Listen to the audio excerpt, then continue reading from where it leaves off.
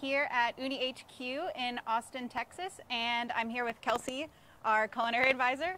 Um, and we are going to cook the book today. We're cooking from Ottolenghi Test Kitchen's latest uh, cookbook called Extra Good Things. It's all about all of the bits and bobs that you can put on top of food to make it really delicious. Um, and we're going to be making a baked polenta with bechamel and feta on top, and then it'll be topped with some really delicious burst uh, tomatoes that are tossed in a za'atar olive oil. Um, you'll have to forgive us. We are currently building the pizza empire out here, and there is some construction happening. So if you hear a loud, a loud bang, do not be alarmed. We are just uh, shooting outside so that we can cook, and there's a little bit of construction noise going on. Um, but I'm gonna let Kelsey get into the cooking, and I'll head over here to ask some questions as we go. Hey guys. Okay, so Yoda Mengling, Yoda, sorry, Yotam Ottolenghi is an awesome cookbook author from the UK. He's written many books on vegetables, on Israeli food. They're really inspiring for a home cook to learn how to treat vegetables in a different way. And this is a fun one too. So what we're doing is a baked polenta, which you take instant polenta with milk and water. You can use vegetable stock, chicken stock, anything to flavor this. It's kind of a blank canvas. You cook it. We laid it out in a cast iron skillet. Um, but first, we're going to have to roast some tomatoes and top it with that. So we have some cherry tomatoes. Um, we're going to toss it with a little bit of olive oil, salt. We have some za'atar, which is a Middle East spice. Every area in the Middle East has a different version of za'atar. Every family has a different recipe, so it's a really exciting uh, flavor to work with. We're going to also top it with a little balsamic vinegar. Um, this is some really nice aged balsamic. Um, you can use any the one you have at your house. Um, the more flavorful, more aged, the less you need, and it becomes like a really like caramelized, sweet, acidic addition to these tomatoes, which is going to be really nice. And then also we have a mixture of chopped oregano and parsley. And the great thing about a recipe like this is that you can really polenta is a blank canvas, you know. Like you cook polenta the day before, you put it on a sheet, baking sheet, and you have some leftover baba ganoush or some leftover tomatoes, and you can just honestly put that on there in the oven. It's going to taste super awesome. All right, so it's nice and oily. It's tossing the vegetables and salt. Seasoning, we'll do a little bit more za'atar. It's such an amazing flavor. It's a super bright, almost citrusy spice mix. And right now we have our Karu 16 going around 700 degrees. Um, we've been using the wood fire, which is super fun. And we're just going to load this into a cast iron. And a little bit more with olive oil. And we're going to roast these guys for about two to three minutes in this thing.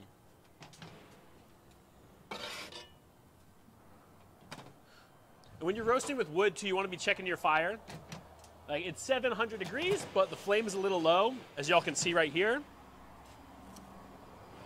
So I'm just going to throw a couple more logs on. And it goes pretty quick. This is a place where I feel like the Ooni oven is great um, because in the conventional oven, it takes about 40 to 45 minutes to get your tomatoes as burst and delicious as they're going to be in like like Kelsey said, you know, two to four minutes here. So um, they're really great and extra delicious with wood fired. Yeah, it's super fun. Like when you're cooking vegetables at high heat, you're gonna get like an intense char on them. You're gonna get like a burst where as opposed to when you're cooking for a long time, you don't get that like juiciness. They kind of dry out. Like these tomatoes are going to stay super juicy. It's the end of the season here, which is really fun. I got a little cold today, so maybe these are the last ones you'll see. Um, and it's just fun cooking vegetables over wood fire. You know, that's one of the best things about when you're working a wood grill at a restaurant or you're just cooking in the backyard for your friends. It just tastes better. It's more romantic, um, and this is a very fun way of doing it. All right, they're looking good. Now, for our polenta, you can buy instant polenta. Polenta is just basically like corn, uh, milled to like a coarse texture, similar to grits. Same thing as grits, just Italian, and you can have it when it first comes out. It's super creamy and but cheesy and milky. But then sometimes you know it sits in the fridge overnight, and you kind of have like a polenta cake, which is really awesome. That's when you want to top it uh, with your vegetables and bake it like that. You can eat it like a pancake. You can eat it with a little bit more dairy to make it creamy again. It's very forgiving food. Now I can hear the tomatoes sizzling, which is a great thing. And they're looking good. They're just starting to blister a little bit, so we're going to give it about one more minute. Yeah, and this is pretty fun. I think the awesome thing about these Ottolenghi books is that you can learn how to cook really flavorful food. What they do at their test kitchen and the restaurants in the UK is everything is herbaceous, bright, citrusy, which I mean they're also really simple. You know, the recipes are one, two, three steps, so you get these incredible flavorful vegetables, or lamb dishes, or chicken dishes, um, with a very you know, like it's approachable for the home cook. Yeah, they say that this cookbook is all about uh, what they call secret culinary weapons. Um, and those are like dressings, condiments, sauces. So these are all things that you can learn how to do them. You can put those on top of anything. Za'atar tomatoes would be great on top of uh, home baked bread. They'd be great on top of a pizza once you This took it out of the oven. Would be amazing for a pizza. Um, so they'll teach you things that you can use not only for like the specific recipe, but All right. like Kelsey said, to make flavorful food. So our tomatoes are done. They've started to blister a little bit. They've got a little char on them, but they're still holding their shape, which you want because these little cherry tomatoes have such juice and burst. You don't want them to be like mushy as opposed to like when you're roasting for like a salsa or any kind of sauce. You want this to like still have a bite to it because it's going to be the top on polenta, and polenta's pretty mushy, so you want some texture on top of that. So now it's time to bake our polenta. Um, so we have our polenta cooked in our cast iron. You can do it on a baking sheet. You can do it on anything that can go in an oven. Um, I've made some bechamel as well, a simple bechamel, a flour, butter, milk, a little black pepper, salt, and we're just going to spoon this over to add a little bit of cream to it. And you know, bechamel is a cheat code. Anything with bechamel on is going to be super delicious and creamy. And we're kind of just leave the crust edges to it. Like when you're doing polenta in like the wood oven, which you'll see at a lot of Italian restaurants, uh, having that polenta like bubble and get crispy on the edges is really awesome. We're also going to top this with a bunch of feta. You can use any cheese you want, really.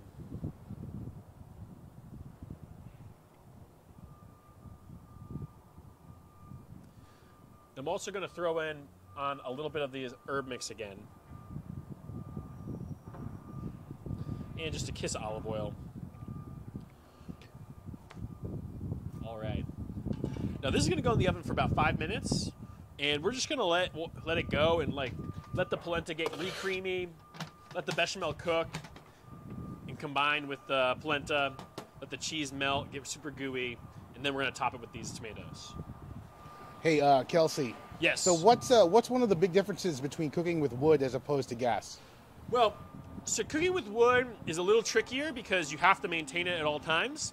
You know, when you're working with a propane oven or grill, set it to the temperature you want, and there's not as much tinkering. You know, your stone maybe uh, gets a little hot, so you turn it down. With this wood fire, as you can see, temperature I'm adding wood, and that just takes a little bit of practice. You know, working a wood oven or a wood grill is all about like feel and comfortable with your wood. Your wood can be different every time, which is tricky. Um, sometimes it's more dense than others. Sometimes it's super light. Sometimes it rained on your wood and it's getting a lot of smoke. So it's all about just learning how to do it over and over again. And when you're baking things or grilling things over wood that uh, take an extended period of time, you get an awesome flavor that you don't get with propane. And that's really fun. A lot of people love that, especially here in Texas. Everyone loves barbecue here. And it should be illegal to cook barbecue with propane probably in Texas. So it's something that we really just romantic romanticize here. This is looking good. Fire's coming along. And we're just hanging out, waiting to bake this polenta. I feel like we need to get um, a mic on our tomatoes or something. That was I don't Oh, think you guys could mic. hear that, but that was it was great. The sizzle was great.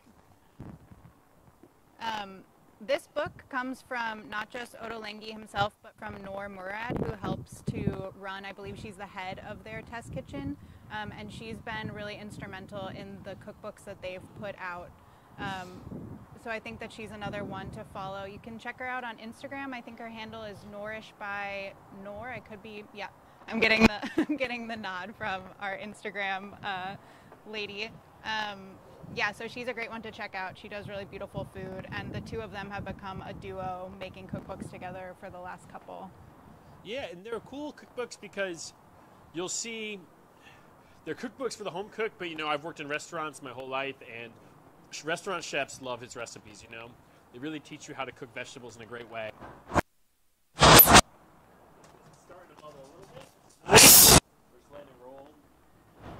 And, uh, yeah, they're fun. They're like great Sunday recipes for when you're trying to impress your family or friends. And they're exciting. And everyone needs like little toppers, you know? Like some funky tomatoes or any kind of garnish. Sweet. Yeah, we like to use the kinds of dressings and condiments and stuff from this book are things we love having once you take a pizza out of the oven that takes it from like good to great. So we do we like to come up with garnish of the month recipes. So stuff like fried garlic chips and fun dressings. Kelsey makes a mean homemade ranch. All of that kind of stuff is the sorts of things that they're highlighting in this cookbook. So yeah, we're crisping up. We're looking good. Yeah, so what are you looking for, Kelsey, when you're making this? I know you've made polenta a million times, but imagine you have never made Well- it before. What you're looking for too, and you can see it now. We'll pull it out because it's about halfway through. Is we're looking for some sort of bubbling on it, and at this point, because it's already cooked, we're just looking to reheat it. You know, let it get kind of soupy. Let the bechamel cook into it a little bit, and it shouldn't take too long. When you're cooking polenta for the first time, like on the stove, before you get to this point, you want to just make sure that the corn is cooked. Um, if you just heat it up in the liquid and eat it right away, it's going to be a little gritty, a little chewy. Um, you want to make sure it's like creamy, like your perfect grits if you're from America. Dang, this is looking pretty good.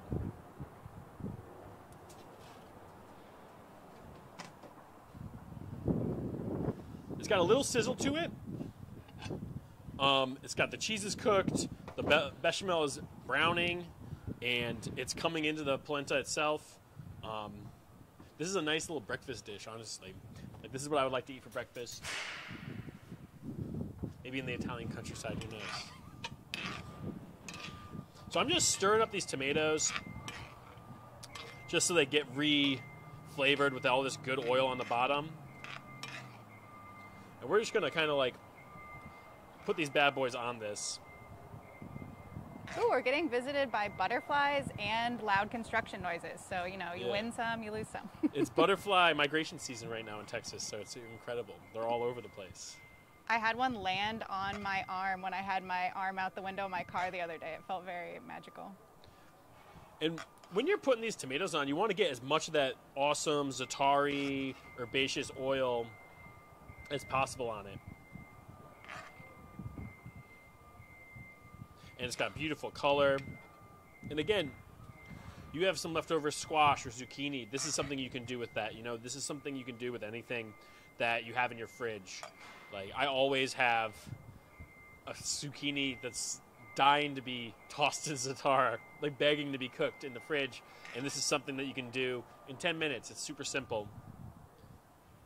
And maybe I went a little tomato overload, but that's not a big deal. And then we'll just garnish it with some fresh oregano and some parsley. You know, if you have like a leftover braise in the fridge, this is awesome for that. Polenta loves braised meat, you know? when you guys check out the recipe on ooni.com, it'll be for a bit of a larger size of this that'll go on a sheet tray. That works beautifully. We also love it in the cast iron. So this is, what do you think, Kelsey? About half the polenta? Yeah, this is probably about more? half. This will feed a lot, you know, and you can cook a smaller amount of this too. Yeah. Like when you have instant polenta, it takes a few minutes to cook. You know, three to five minutes. You can cook a cup. This is two cups of polenta. Two cups of polenta goes a long way. So you can feed a lot of people. It could be in your fridge for a couple of days. It's a great like midweek dinner, and then you can just eat it for two or three days for lunch. Awesome. This looks great. Um, yeah, should we try it? Should I eat it? I come and Why try not? it with you. Why not? Time for breakfast. Right.